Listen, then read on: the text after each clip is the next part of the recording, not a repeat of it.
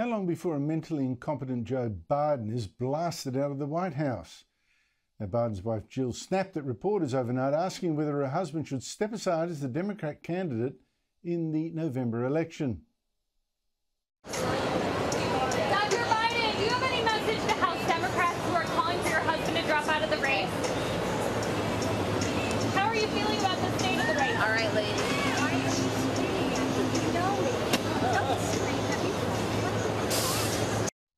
Except she didn't, but Joe Biden did. He rang a left wing TV show to challenge critics in his party to run against him at next month's Democrat convention or shut up.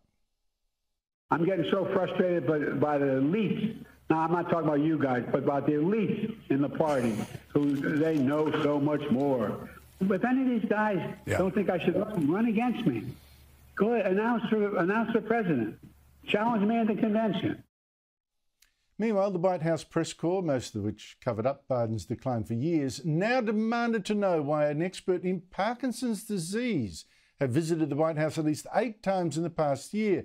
Biden's spokesman said, no, he didn't have par- Parkinson's, and insisted that Biden had had some unnamed neurologist check him out just three times and clear him. So I am telling you that he has seen a neurologist three times while he has been in this presidency. That's what I'm saying. I also said to you, for security reasons, we cannot share names.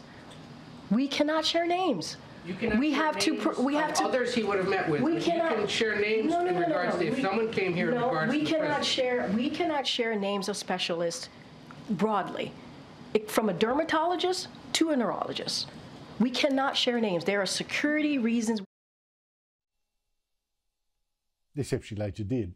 Uh, the Democrats' nightmare, though, is that if Biden doesn't want to go, they can't make him. He won the ballot, uh, the pre-selection.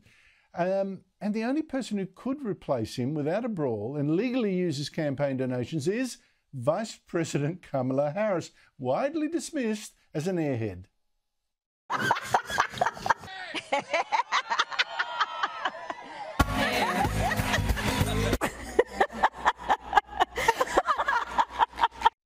I mean, check what Harris did with the one big job she was given. I mean, to stop illegal immigrants from crossing the Mexican border is a job she, she seemed to dodge as 8 million illegal immigrants poured in.